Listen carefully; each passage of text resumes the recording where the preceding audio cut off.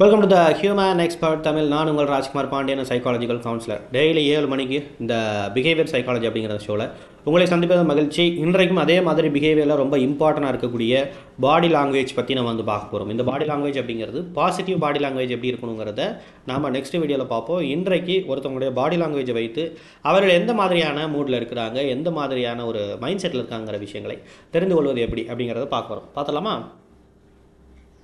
yes the body language the first விஷயம் அப்படிங்கிறது cross Tom's இப்படி கை கட்டிட்டு இருக்கிறது இப்படி வந்து இப்படி கை கட்டி கொண்டு இருக்கிறது அப்புறம் இந்த மாதிரி இப்படி வச்சுக்கிறது இந்த மாதிரி கை கட்டிட்டு இருக்கிறது. இந்த மாதிரி கிராஸ்டு ஆர்ம்ஸ் அப்படிங்கிற விஷயங்களுக்கு என்ன அர்த்தம் அப்படின்னு சொன்னால் this is what they are hiding something சில லீடர்ஸ் கூட இந்த மாதிரி கை கட்டிட்டு இருப்பாங்க. இந்த மாதிரி வச்சுருக்காங்க. என்ன அப்படின்னு சொன்னால் அவர்கள்ட்ட ஏதோ ஒரு விஷயங்கள் இருக்குது அந்த விஷயத்தை அவர்கள் வந்து என்ன பண்ணுறாங்க அதை வந்து மறைத்து வைத்திருக்கிறார்கள். ஓகே ஏன் மறைச்சி வச்சிருக்காங்க அப்படின்னு சொன்னால் ஃபார் எக்ஸாம்பிள் இப்போ ஒருத்தவங்க உங்கள் முன்னாடி எல்லாரும் பேசுகிறா எல்லாத்துக்கு முன்னாடி வந்து ஒரு உரையாற்றுகிறார் அவர். அவர் வந்து இப்படி கையை கட்டிக்கிட்டே பேசுகிறார் அப்படின்னு சொன்னால் அவர் என்ன பண்ணுவார்? மேக்ஸிமம் அந்த மாதிரி கை கட்டிட்டு இருக்கவங்க வந்து கொஸ்டின் கேட்பாங்க. கொஸ்டின் கேட்டுகிட்டே அந்த அந்த கை கட்டிகிட்டே இருப்பாங்க. ஏன் அப்படின்னா அவருக்குள்ளே ஏதோ ஒரு விஷயம் இருக்குது முதல்ல நீங்கள் சொல்கிற விஷயங்களை சொல்லுங்கள் அதற்கு பிறகு நான் மறைத்து வைத்திருக்கக்கூடிய விஷயங்களை நான் சொல்கிறேன் அப்படிங்கிற ஒரு விஷயமாகவும் இருக்கலாம். ஒரு இக்கட்டான ஒரு சூழ்நிலையில் வந்து இந்த மாதிரி கை கட்டிகிட்டு இருக்காங்க அப்படின்னா they are hiding something very bigger ரொம்ப காம்ப்ளெக்ஸாக அவர்கள் அவர் அவர்களை வந்து அவர்கள் தடுத்து வச்சிருக்கிறாங்க. அப்படி கிராஸர் அப்படின்னா என்ன அர்த்தம்? அவர்கள் அவங்கள வந்து தடுத்து வச்சிருக்கிறாங்க அப்படின்னு அர்த்தம்.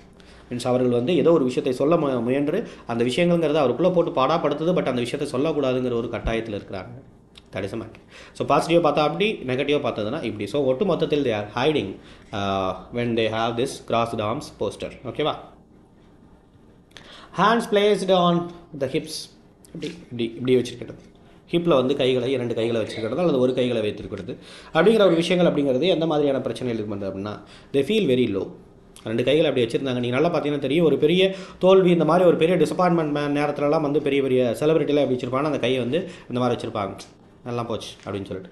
சில பேர் வந்து அதை ஒரு கான்ஃபிடண்ட்டாக வந்து வைக்கணும் அப்படிங்கிறதுக்காக கூட இப்படி வச்சுருப்பாங்க. இவன் ஏன் இப்படி வந்து கான்ஃபிடண்ட்டாக வைக்கணும்னு நினைக்கிறாங்கன்னா ஆக்சுவலி தே ஃபீல் லோ அவர்கள் வந்து தன்னை வந்து ரொம்ப வந்து லோவாக ஃபீல் பண்ணுறாங்க இருந்தாலும் நம்மளை வந்து நம்ம நம்மளுடைய ஓன் ஸ்டாண்டிங்கில் நம்ம வந்து இப்படி இப்படி பண்ணணும். அதாவது நம்மளை நாமளே வந்து காப்பாற்றிக்கணும் அப்படிங்கிறதுக்காக டிஃபென்சிவாக இருக்கிறான்னு அர்த்தம். ஒட்டு மொத்தத்தில் அவங்க லோவாக இருக்கிறாங்க. அதே நேரத்தில் அவர்கள் அவர்களை பாதுகாத்துக் கொள்வதற்கு முயற்சி செய்து கொண்டிருக்கிறார்கள் டிஃபென்சிவாக இருக்கிறார்கள் என்றார்கள்.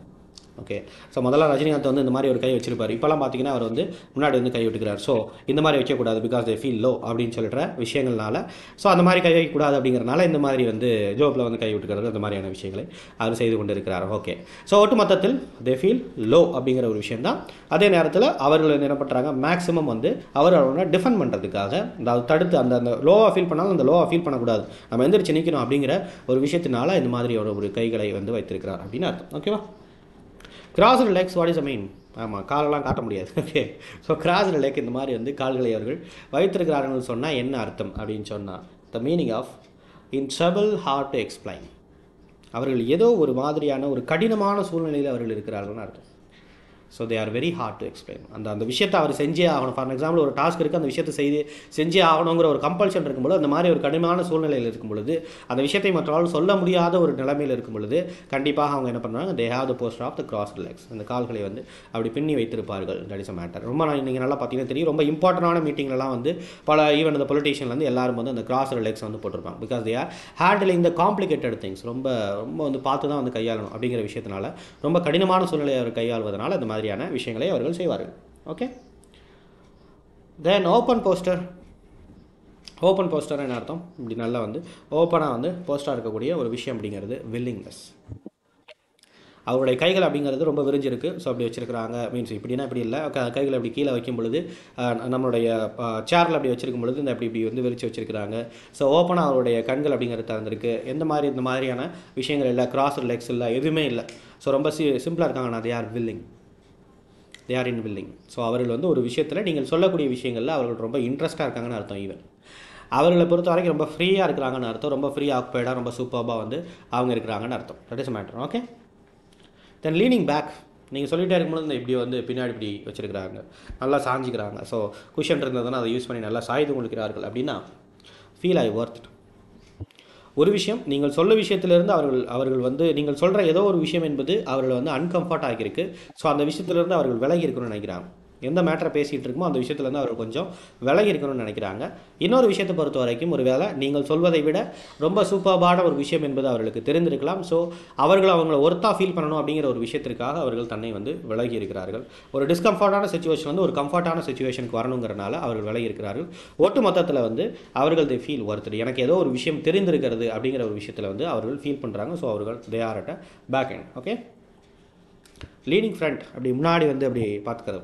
ஓகே அப்படி வந்து செய்கிறார்கள். அப்படின்னு என்ன அர்த்தம்? They feel they are giving the important முதல்ல சொன்னேன் இல்லையா? ஒரு ஒரு கண்கள் அசைக்காமல் பார்த்துக்கிட்டு இருக்காங்க அப்படின்னா அட்டென்ஷன் கொடுக்குறாங்க அப்படின்னா அதே மாதிரியான ஒரு அட்டென்ஷன் பர்சன் தான் வந்து the lying front sorry they are what is they are bending front முன்னாடி வந்திருக்கிறாங்க அப்படின்னா அதற்கான அர்த்தம் என்பது இதுதான். அவர்கள் வந்து எந்த விஷயம் டிஸ்கஸ் பண்ணிட்டு இருக்கோ அந்த விஷயத்திற்கு அதிகமான அட்டென்ஷன் கொடுக்கணும்னு நினைக்கிறாங்க. அது அவர்களுக்கு ரொம்ப பிடித்த ஒரு விஷயமாக இருக்கிறதுன்னு அர்த்தம். தட் மேட்டர் நீங்கள் யார்கிட்டயா லவ் ப்ரப்போசல் பண்ண பா போனீங்கன்னா இந்த மாதிரியான விஷயத்தெல்லாம் நீங்கள் பார்த்துக்கங்க. Okay hands on the chair எப்பொழுதும் க சேரை வந்து பிடித்து கொண்டு இருக்கக்கூடிய ஒரு ஆளாக இருக்கிறார் என்று சொன்னால் என்ன அர்த்தம்? ஃபீல் வெரி கம்ஃபர்ட் சேரில் வந்து எப்படி அந்த சேர் வந்து பொசிஷன் எப்படி இருக்கோ அந்த பொசிஷனில் அவர்கள் வந்து நல்லா உட்காந்துட்டு நல்லபடியாக அப்படி எப்படி ஹேண்ட்ஸ் அந்த சேரில் வச்சுக்கிட்டு அப்படியே இருக்கிறாங்க அப்படின்னு சொன்னால் தே ஃபீல் மோர் கம்ஃபர்ட் ரொம்ப வசதியான ஒரு ஒரு ஒரு ஃபீலிங்கில் ஒரு நல்ல ஒரு ஃபீலிங்கில் ஒரு நல்ல வைப்பில் வந்து அவங்க இருக்கிறாங்கன்னு அர்த்தம். That is a matter so இந்த மாதிரியான விஷயங்கள் அப்படிங்கிறத இன்னும் தொடர்ந்து அடுத்த வீடியோவில் பொறுத்த வரைக்கும் how to have the positive body language அப்படிங்கிற விஷயத்த